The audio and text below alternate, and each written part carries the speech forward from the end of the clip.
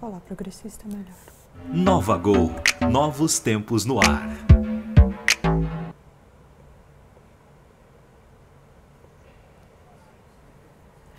Oi, gente, começando mais um Dinheiro na Conta, ao vivo dos estúdios da B3 em São Paulo. Hoje quem está comigo é o deputado federal Fausto Pinato, do Progressistas do, de São Paulo. Deputado, obrigada por participar do Dinheiro na Conta com a gente hoje. É, vamos falar sobre lei de diretrizes orçamentárias, reforma da Previdência, comissão de Agricultura na Câmara. O deputado é presidente da comissão, é presidente também da Frente Parlamentar. O senhor vai ter que Oi, me ajudar gente, com esse nome. Opa, desculpa. Um o senhor vai ter que me ajudar com esse nome. Brasil, Frente Parlamentar. Brasil e China e da Brasil defesa China. das bebidas é, das, das, bebidas brasileiras. Brasileiras, né? Pronto. Duas frentes importantes. Vamos falar sobre isso também. E vamos falar, claro, sobre Eduardo Bolsonaro. Presidente Jair Bolsonaro foi participar de uma solenidade na Câmara hoje e defendeu a indicação do filho para a embaixada. Vamos lá?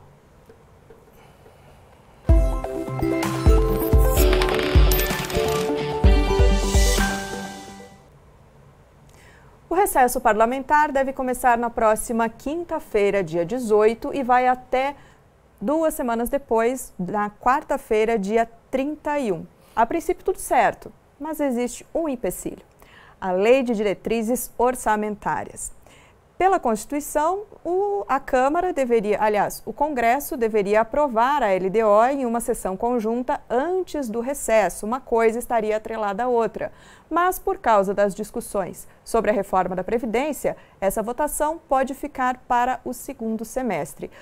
Tinha hoje à tarde uma reunião marcada entre o senador Davi Alcolumbre, que é presidente do Senado, e também do Congresso, com algumas lideranças partidárias para discutir esse assunto.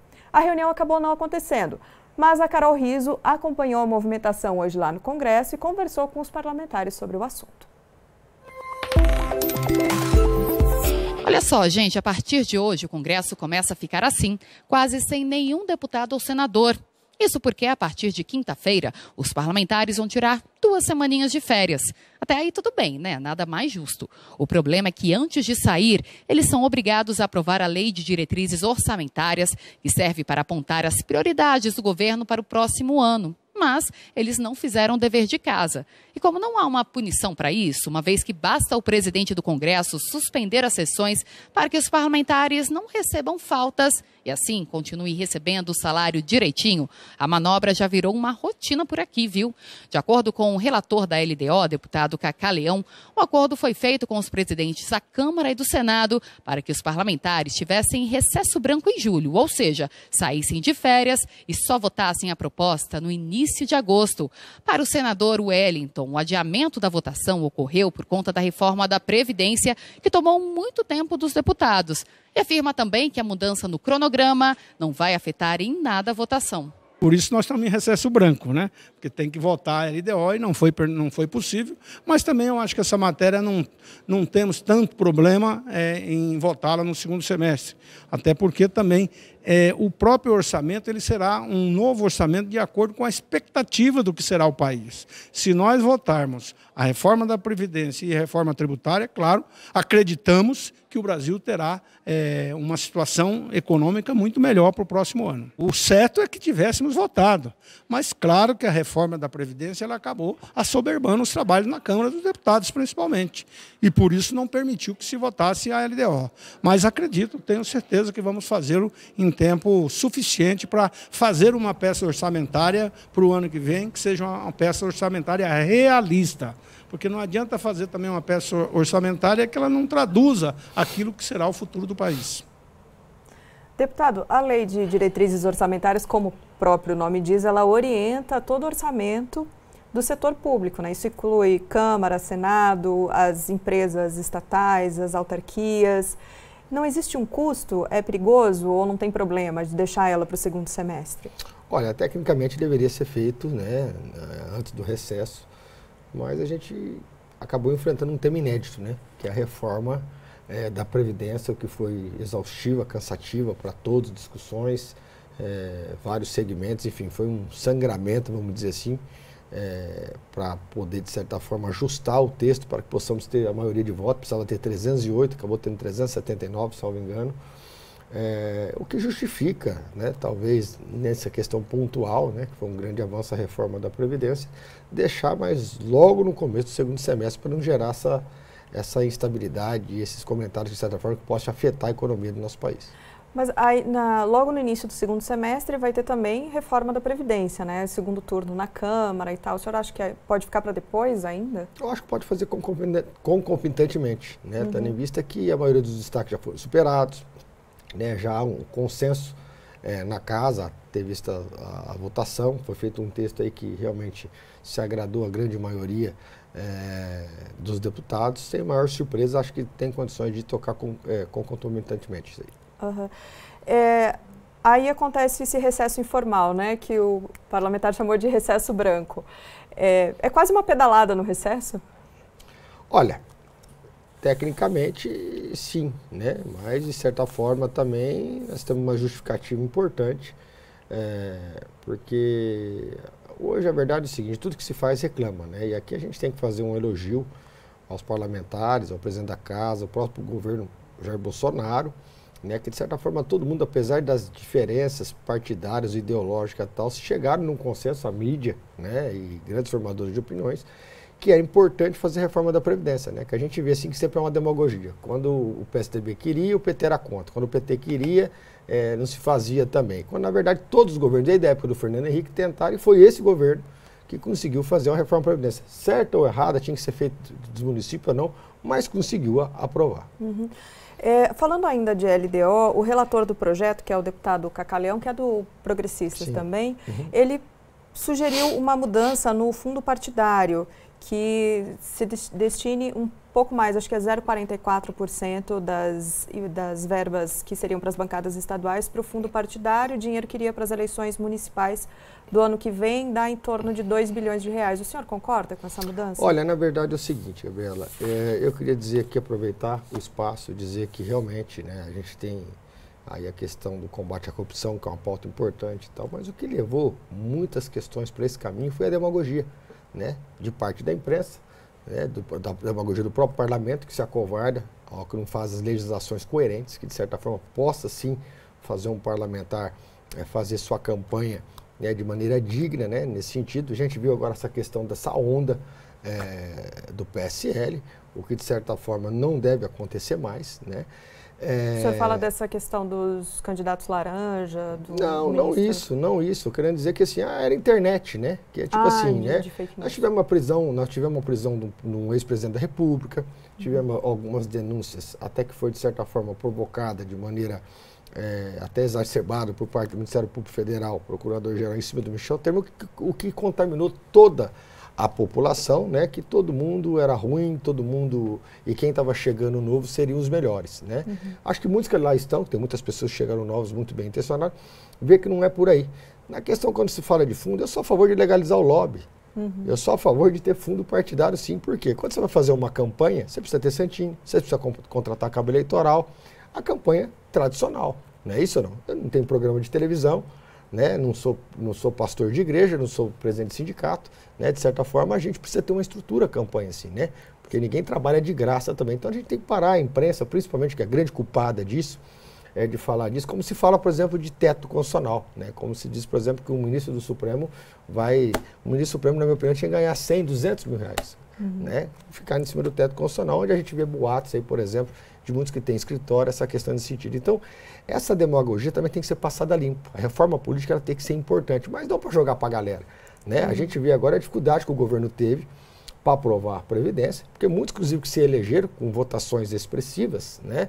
quando fomos fazer a reforma trabalhista, é, quando nós estávamos lá é, brigando com a oposição, eles gravavam vídeo falando que era contra. Inclusive a própria reforma da Previdência. Né? Agora dentro reconhece os erros, então é, existe parlamentares e parlamentares. Tem aqueles parlamentares que jogam para a galera e tem aqueles parlamentares que realmente têm responsabilidade com o país, independente se a mídia vai achar bem, vai estar rede social ou não, que é o aplauso da nossa consciência.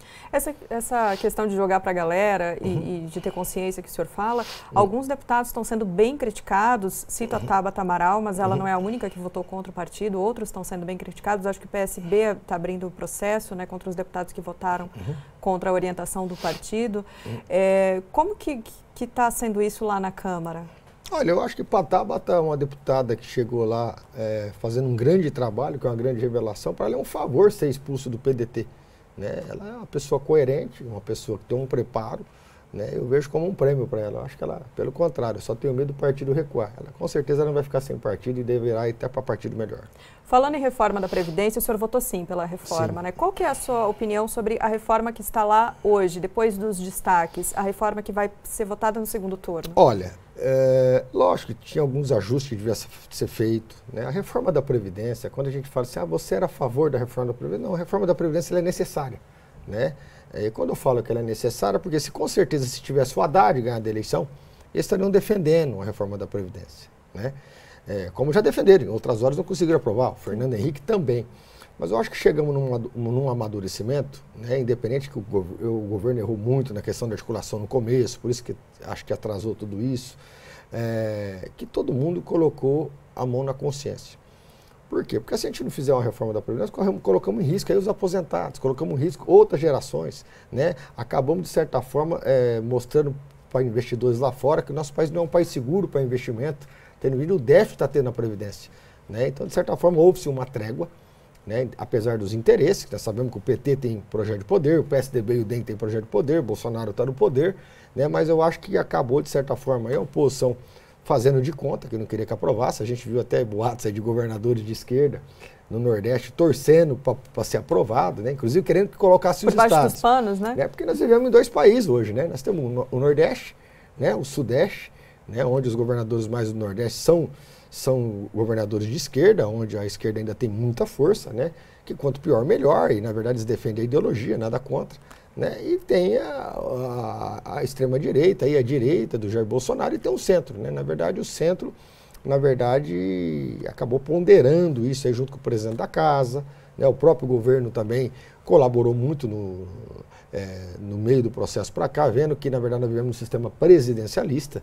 Né? E, e, na verdade, o sistema presidencialista, você tem que dividir é, responsabilidade, né? dividir... É, responsabilidade, dividendos é, e, e, e, responsabilidade com o Congresso. Né? É assim que se governa o sistema presidencialista. Caso contrário, só se tem dois caminhos: ou se dá o golpe militar, ou se fizer, de certa forma, uma proposta para mudar o sistema brasileiro. Apesar do presidente Jair Bolsonaro estar correto na questão de, de, de, mudar o sistema de governabilidade, nesse sentido, de colocar pessoas técnicas nesse sentido e tal, mas eu sempre defendi, né? e vai ter que voltar atrás, já já até admitiu, fui o primeiro que disse isso, de certa forma procurar uma pessoa ficha limpa, né, uma pessoa que dentro da filosofia dele, que também não pode, também de certa forma, o pessoal do Nordeste querer manter cara do PT, do PSB. Então, no final, todo mundo tem um pouco de razão e também um pouco de falta de razão.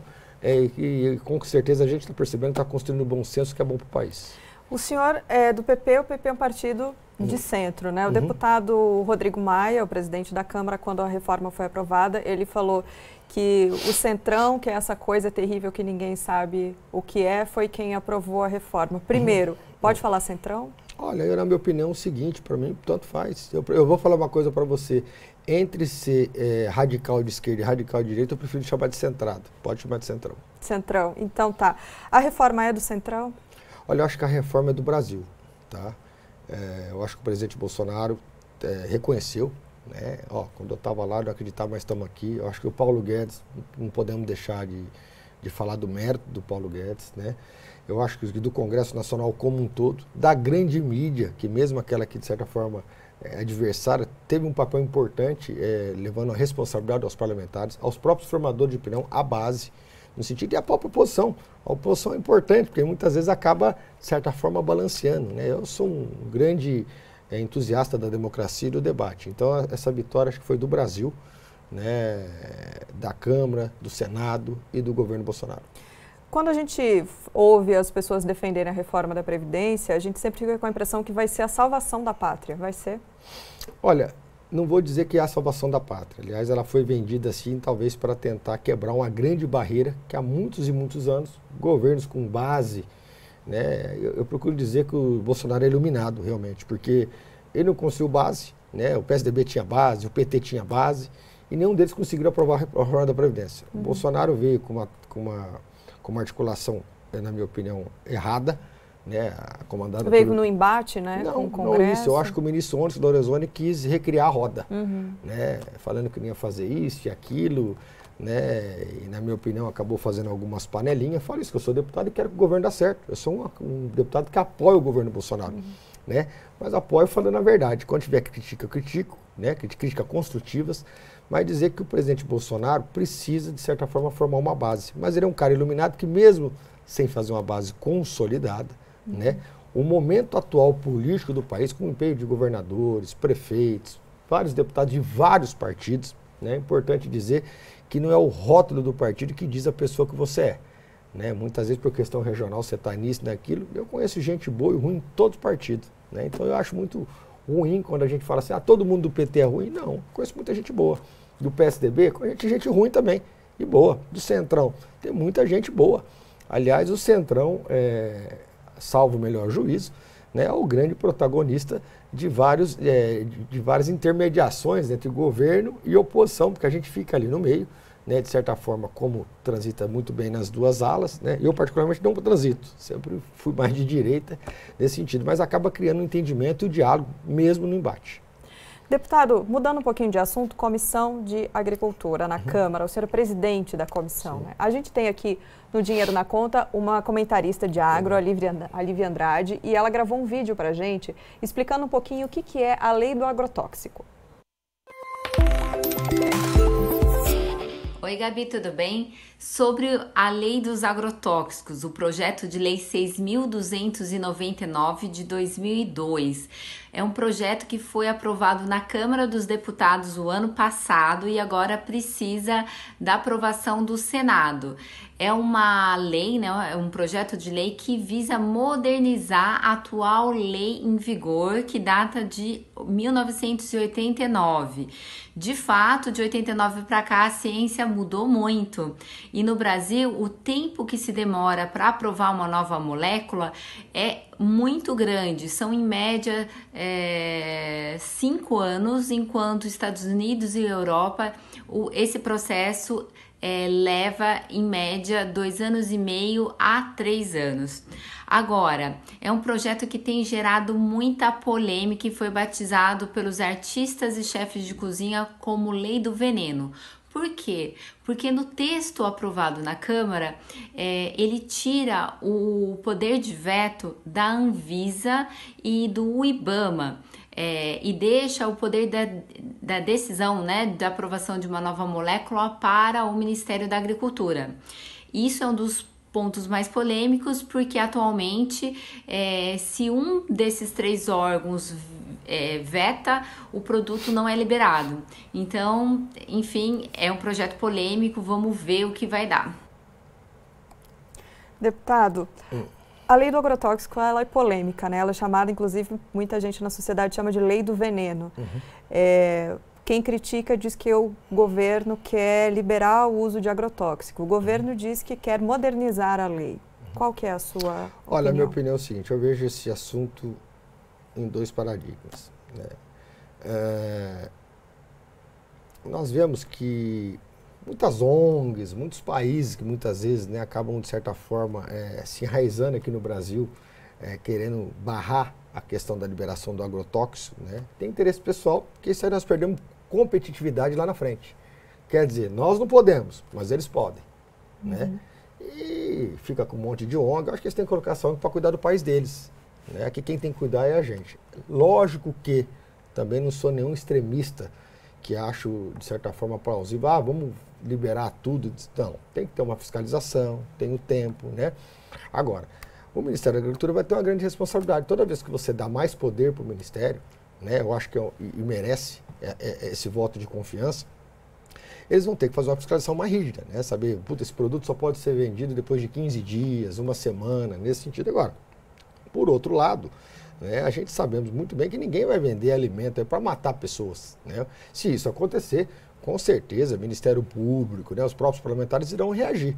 Então, eu espero que o Ministério da Agricultura e o governo, de certa forma, se, se preparem é, para isso, né, para de certa É forma porque não haver alguém tem falhas. que fiscalizar isso, né? Sem Como que isso dúvida. pode ser feito? Olha, o Ministério da Agricultura tem como fazer essa, esse organograma e essas diretrizes para que essa, de certa forma, né, possa estar, de certa forma, efetividade. E o próprio agricultor, né, e aqui eu falo que eu faço parte da Comissão de Agricultura como presidente, é igual quando fala com o agricultor, isso, o agricultor é o cara que mais preserva o meio ambiente. O agricultor é uma das pessoas que tem mais responsabilidade nesse país e leva o agronegócio, é o que sustenta a balança comercial desse país. Né? Eu percebo isso. Você vê que a bancada é, agrícola ela, ela, é, ela é muito unida. Né? O pessoal trabalhador, o pessoal mais consciente, é lógico. Né? Isso aí dá, igual o episódio da carne fraca. Um cara faz uma coisa errada, vamos generalizar tudo. Não é assim. Agora, por outro lado também, barrar tudo a questão do agrotóxico para a gente perder a competitividade, não. Nós temos condições de, ter de ser o grande exportador do mundo, como já exportou muito para a China e outros países. Abrimos agora é, a Europa, né? nós temos que estar preparados para ter competitividade lá na frente. né? Então é importante ver em dois prismas. Um está certo, a preocupação é real para ter mais fiscalização, mas outros são as preocupações, na verdade, é tirar a competitividade do Brasil nos termos de exportações de alimentos.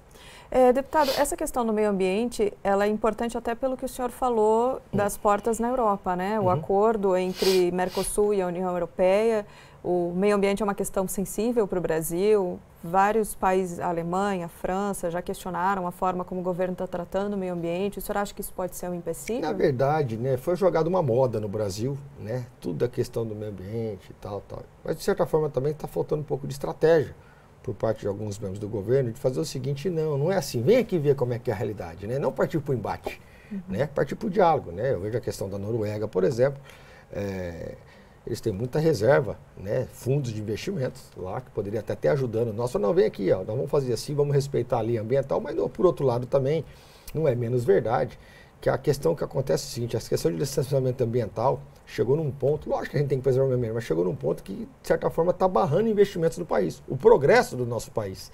Né? E, de certa forma, lá fora, como a mídia lá fora é é uma mídia meio que direcionada, coloca como o, o monstro de sete cabeças, quando, na verdade, nós estamos fazendo tudo com responsabilidade, e nesse ponto eu queria elogiar e muito o Ministério da Agricultura né? e o próprio governo né, no sentido de, de, de, tentar, de certa forma, destravar. Agora, o que falta muitas vezes é a maneira de fazer essa colocação, é a maneira de chamar isso para o debate. Na hora que tiver uma crítica, não sair revidando, talvez chamar e mostrar como é que é a realidade atual, que muitos ficam sabendo através de ONGs, de vídeos e, e notícias muitas vezes distorcidas por interesses obscuros no exterior. Tem umas perguntas aqui. O Gabriel Rangel, por exemplo, está perguntando se o agrotóxico proibido no resto do mundo inteiro nós podemos comer e o Sigifredo dizendo por que aprovar moléculas que a União Europeia e Estados Unidos baniram? O consumidor brasileiro pode comer veneno livremente? E o Eduilson Coan, com tanto agrotóxico, ninguém vai precisar de aposentadoria mesmo. Olha, eu discordo. Eu, até porque esses dados que eles estão falando dos Estados Unidos, até porque a lei não foi nem aprovada. Uhum. Né? Nós estamos em discussão a lei do agrotóxico, de algumas questões, né? vai ser debatida. Uhum. Né? Com certeza, o que, de certa forma, não é aprovado em país de primeiro mundo não será aprovado aqui. Agora, se é aprovado lá e nós não podemos ter aqui, aí também é burrice, né? Então manda a ONGs dele cuidar do país deles, nós vamos cuidar uhum. do nosso, que aqui nós temos soberania nacional e nós vamos lutar para ser o grande exportador agrícola do país, com competitividade. O senhor, acha que um, pode ser um efeito colateral, um perigo que se aumente, por exemplo, o desmatamento? Agora, no primeiro semestre, saíram alguns números né, já de, de aumento de desmatamento. O senhor acha que essa política mais pró-agricultura pode... Olha, tem que ser equilibrada, né? É, é, que, na verdade, as pessoas muitas vezes criticam, né? Porque é um, é um, é um assunto que está na moda, uhum. né? Normalmente, quem defende muito essa questão uh, ambiental é, de maneira excessiva, não, que tem as pessoas coerentes, não vou generalizar, tem muitos ambientalistas importantes que eu até escuto, né? Porque a gente tem que ter o um equilíbrio, a gente está sempre um aprendizado nesse sentido. Mas eles, por exemplo, são a favor de liberação de droga. É, você acabou de falar de artista aí. Tem muito artista aí que nunca foi numa fazenda, não colocou o pé na terra, não sabe como é que planta uma batata. E vem dar palpite porque politicamente é bonito, politicamente dá muita curtida em Facebook. Vamos lá aprender, vamos lá conhecer como é que é a realidade. E queria dizer, o agricultor, lógico, num passado lá atrás, realmente uhum. houve muitos abusos. Né? Uhum. Tem que ser falado. Mas houve um avanço por parte do, do, dos agricultores. Os agricultores já estão mais conscientes, sabem que tem que preservar o campo, até para ter água nesse sentido, né? Então não é mais do jeito que era, mas na verdade, lógico, se tem um abuso, tem alguma coisa, vai ser punido. Agora o que não pode, de certa forma, é travar tudo, né? Você para tirar uma licença, hoje você faz tudo certinho, daqui três meses volta, porque os próprios caras não querem assinar. Porque tem medo de ação civil pública, tem medo disso, daquilo, é um monte de ONG atrapalhando o país. Eu acho que nós precisamos achar o equilíbrio disso, preservar o meio ambiente, mas de certa forma também não brecar a maior identidade que Deus deu, que é a agricultura em nosso país. É, deputado, mudando de assunto de novo, é, vamos falar de Eduardo Bolsonaro. A indicação do deputado Eduardo Bolsonaro, que é o filho 03 do presidente Jair Bolsonaro, é, para embaixador do Brasil nos Estados Unidos, está gerando polêmica e voltou a ser assunto hoje porque o presidente participou de uma cerimônia de solenidade na Câmara dos Deputados em homenagem ao Comando de Operações Especiais do Exército. E durante o discurso, ele comentou a indicação. Vamos ouvir. Por vezes, temos tomado decisões que não agradam a todos, com a possibilidade de indicar para a embaixada dos Estados Unidos um filho meu, tão criticado pela mídia. Se está sendo criticado, é sinal que é a pessoa adequada.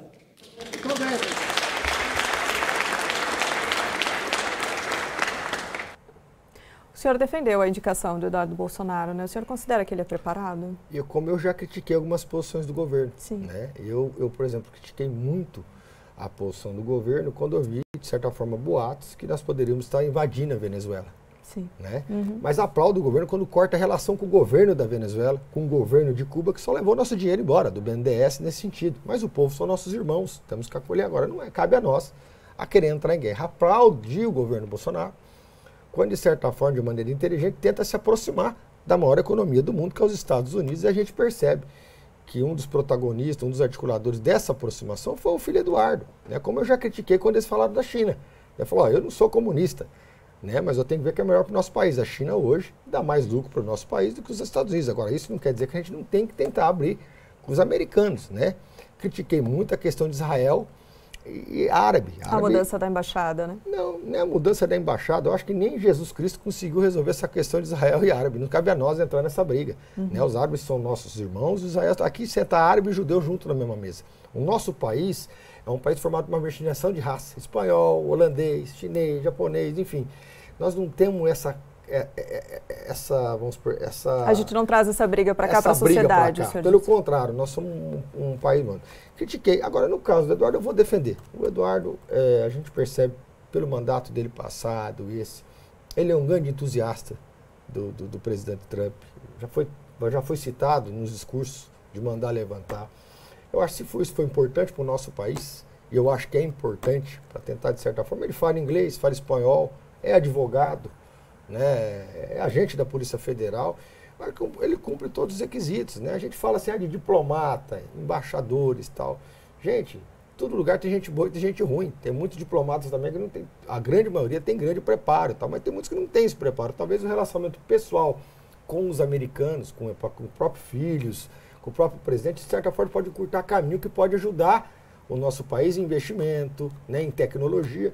Então eu vejo, vejo com bons olhos. O ministro Aloysio Nunes, que é meu amigo, inclusive é da minha região, foi ministro das Relações Exteriores, foi um grande ministro das Relações Exteriores nesse sentido. Então eu acho o seguinte, se, é, eu, eu defendo sim, eu tenho que criticar, eu critico, mas nesse caso eu acho justo, plausível e acho que o Eduardo Bolsonaro tem muita capacidade, até porque ele gosta dos americanos. Isso e pode... os americanos gostam dele. Então, quer dizer, de certa forma, pode criar uma afinidade e acelerar alguns processos que estão enroscados, que pode ajudar o nosso país. O senhor acha que isso pode ser considerado nepotismo? Olha, se a gente for discutir nepotismo aqui, eu vi agora, o ministro do Supremo criticar que o presidente está indicando o filho para a embaixada, o primo dele indicou ele para ministro do Supremo, quer dizer, eu não vejo isso, né? É cargo de confiança, estratégico, né? Eu acho que isso aí quem vai dar a última palavra lógico, é judiciário, mas eu não vejo isso como nepotismo. Tem a questão do mandato, né? Ele teria que abrir mão do mandato de deputado federal para participar da sabatina no Senado. O Congresso tem que aprovar a indicação. Ele disse que não vê isso necessário e que pretende é, se afastar do mandato só se for aprovado. O que, que o senhor acha? Olha, eu acho que é justo, né? Porque renunciar ao mandato para depois também, de certa forma, não for aprovado, né? Um, um deputado que teve 2 milhões de votos, né? E está indo para uma missão também que vai, de certa forma, vai honrar os seus 2 milhões de votos. Porque, na verdade, eu tenho certeza, até diante das críticas que ele vem sofrendo, se ele for embaixador é, nos Estados Unidos, vai trabalhar dia e noite para mostrar dar resultado, até porque o seu pai é presidente e ele vai fazer de tudo para não errar e, pelo contrário, trazer liquidez e benefícios para o nosso país e ele é um grande patriota.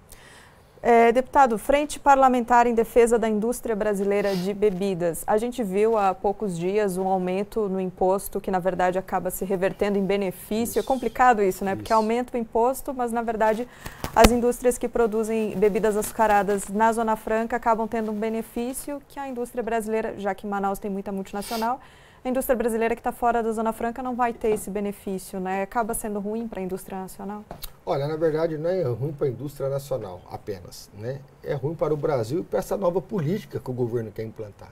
Né? A gente vê aí a questão da reforma da Previdência, que todo mundo tem que cortar um pouquinho na sua própria carne, não é isso? A reforma tributária, que é um grande avanço para os empresários que estão sendo achacados praticamente pelo sistema tributário, que ninguém sabe ao certo como como melhorar isso e vai ter uma grande discussão agora no Congresso que eu acho que todos têm que participar para tentar aprimorar, né?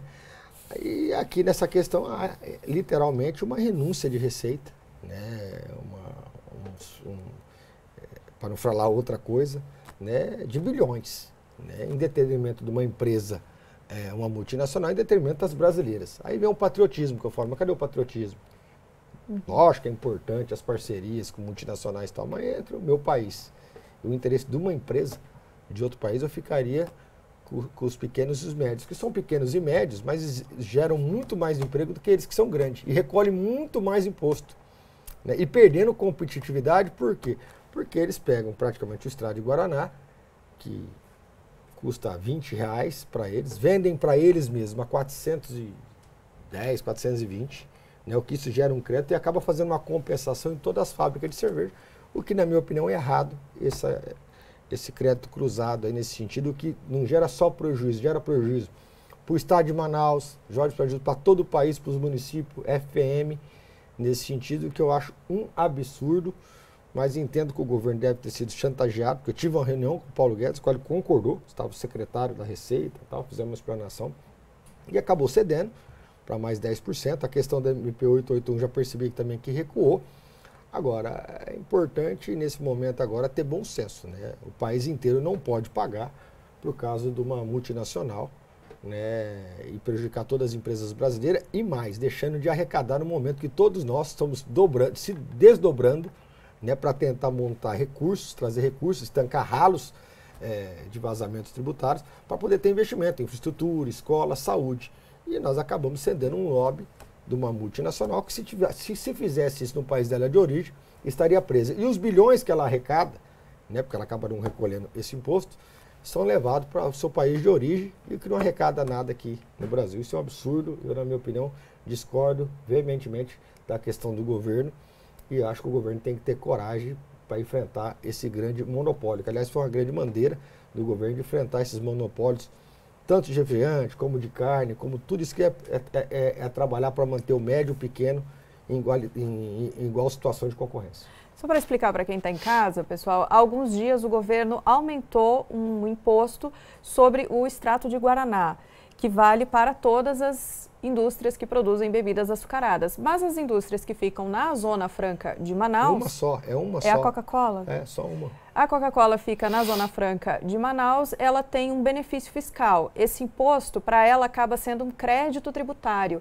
Então, na verdade, ao invés de pagar mais imposto, ela vai ter mais ela crédito, ela, ela compensa. compensa. Ela compensa. Enquanto que a indústria nacional que está fora da Zona Franca não tem esse benefício, então vai pagar Enquanto mais as, imposto. as outras geram mais de 100 mil empregos, ela gera apenas 700 empregos e usam a Zona Franca, que eu sou um defensor da Zona Franca, porque a Zona Franca tem isenção de IPI, uhum. né, nesse sentido é, na verdade, como escudo. Quando, na verdade, a própria Zona Franca e o próprio Manaus perde, perde recursos. É que foi criado, mais uma vez, vai, vai a, questão, a questão do ambientalista e do agrotóxico. Um marketing uhum. em volta onde é só sentar e ler.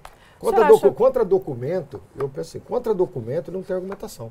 Uhum. Não é isso? Não. Dados técnicos não tem argumentação. O senhor acha que está na hora de rever esses benefícios fiscais que empresas que têm direito a ela? Porque a, uma Coca-Cola, por exemplo, não precisa de um benefício fiscal para se manter, para produzir Olha, o seu refrigerante. Lógico que tem que ser revisto, porque senão o governo está contraditório. Eu vejo quando o ministro da Economia, que é um cara que eu admiro muito, Paulo Guedes, acho que nesse ponto ele acabou tendo que recuar, por chantagem para se provar a reforma da Previdência, acho eu, né, por parte de bancada, mas eu poderia fazer o mesmo com a frente parlamentar, mas eu tenho responsabilidade com o meu país e sou patriota. E não teria coragem de fazer isso para prejudicar o nosso país, mas vamos entrar numa briga agora no segundo semestre.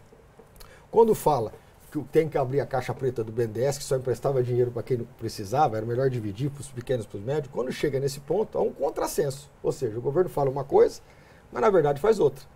Né? E nesse sentido, a minha crítica em relação à, à falta de coragem de fazer o que é correto em relação a, ao IPI de extrato de Guaraná na Zona Franca de Manaus. Deputado, para encerrar o jornal, a gente separou umas imagens. É uma questão que não diz tanto respeito ao Brasil, na verdade, mas é, foi uma situação curiosa, umas imagens que, que eu acho que vale a pena ver. Essas imagens são de um shopping center em Hong Kong. Há seis semanas a população está protestando contra uma mudança na lei de extradição. Era um protesto, a princípio, de acordo com a imprensa local pacífico. A tropa de choque entrou no shopping e tentou é, terminar com o protesto usando spray de pimenta. Como o senhor pode perceber, foi um grande erro. A população se revoltou contra os policiais e revidou com guarda-chuvas. O saldo foram 11 policiais feridos e 37 pessoas presas. Essa lei de, de extradição, ela está sendo bastante discutida lá em Hong Kong, porque Hong Kong tem um acordo de mutualidade. Quando ele, ele extradita uma pessoa procurada por outro país, quando o outro país também tem esse acordo de extraditar alguém procurado por eles. E essa mudança na lei, de acordo com os, os manifestantes, facilitaria a extradição de pessoas para a China. E é uma, aí uma questão delicada, né? Eles que estão tentando. Olha, é, um dia eu brinquei com um colega meu, né? eu sou um deputado apenas, né? mas se eu fosse um. tivesse no lugar do ministro ou de um presidente, a gente tem que sempre fazer uma pergunta: o que nós vamos ganhar com isso? A questão de Hong Kong, Hong Kong ficou 100 anos na mão dos ingleses, não é isso? Não? Até a uhum. moeda lá é diferente, mas houve um acordo para passar para a China, é um território da China. Né? Eu vi recentemente até no período pré-campanha, é, uns colegas foi em Taiwan e criticou a China. Eu pergunto, para que isso? A China é a maior compradora nossa, o maior uhum. cliente nosso. Não vai pegar na balança hoje. Então. A questão não vale a pena comprar uma briga com a China. Acho que a questão de Hong Kong, essa questão, bom, o território voltou para ela. Eles têm uns deputados, têm uns parlamentares. Né? Eu acho extremamente legal, lógico, que toda manifestação pacífica ela é justa né, e vale a pena é, defender esse direito. Né? A gente que evoluiu, evoluiu muito. Né? O pessoal fala que a China é tão isso, hoje já está tendo até é, manifestação. Agora, a soberania nacional cabe ao presidente Xi Jinping, que é um grande líder, junto com seus representantes, está discutindo essas questões pontuais do seu país. Eu, na minha opinião, eu não vejo nenhum, nenhum absurdo nisso, nessa lei de extradição. O senhor é presidente da frente parlamentar que lida com essas questões né, de comércio Isso. com a China. É, o, o, encontro entre o presidente Jair Bolsonaro e o presidente Xi Jinping não aconteceu no G20, uhum. mas já tem uma viagem prevista. Né? O que, que o senhor espera dessa viagem? Olha, eu espero que é o seguinte: eu tive uma briga muito grande com algumas pessoas dessa ala ideológica do, do, do, do presidente, que já ficou para trás. O ministro mesmo das Relações Exteriores, Ernesto, tive uma conversa muito boa com ele e evoluiu muito. Né? Muitas vezes falta diálogo, mas acabamos ficando amigo e tal. Eu venho trabalhando muito com pessoas próximas ao presidente, com os ministros e tal, para mostrar o seguinte, que a ideologia não deve transportar suas barreiras. Eu, por exemplo, eu não sou comunista. Não sou comunista, não sou de esquerda. Não, o senhor falou que está mais para centro-direita. Né? Exatamente. Então, quer dizer, mas eu penso o seguinte, o que, que é bom para o meu país? Se falar tanto em patriotismo, por exemplo, eu acho importante o Eduardo para os Estados Unidos. Mas eu acho importante manter uma boa relação com a China. Que a China tem vários investimentos já ocorrendo no nosso país, outros que estão indo. É o maior comprador do agronegócio do nosso país. Então, quer dizer, eu acho de suma importância e acho que o encontro do Xi Jinping com o Bolsonaro vai ser surpreendente. Entendo que vai ser muito bom. É que às vezes algumas pessoas aí com excesso de ideologia, até que o Bolsonaro tem muita consideração, foi companheiro de primeira hora, mas agora é o seguinte, presidente, tem que olhar, é documento e ver o que, é importante para o nosso país. Lógico, cantar o hino nacional, né, voltar toda essa garra aí da questão de, de mostrar educação moral e cívica, de melhorar a educação, mas ser também, ser também ser patriota é ver o interesse comercial e industrial do nosso país. Deputado, muito obrigada por vir conversar com a gente aqui no Dinheiro na Conta. Pessoal, o deputado Fausto Pinato conversou com a gente hoje, do Progressistas. Sexta-feira, a gente vai conversar com o senador Randolph e a gente vai continuar convidando parlamentares para vir aqui no Dinheiro na Conta. Coloca aí nos comentários quem vocês gostariam que viesse. Quem sabe a gente consegue trazer aqui para São Paulo para conversar com a gente, né? Deputado, muito obrigada Obrigado, mais uma vez. Hoje é dia de segunda chamada, às oito e meia da noite. Não percam, a gente se encontra de novo amanhã, às 18h40. Tchau, tchau.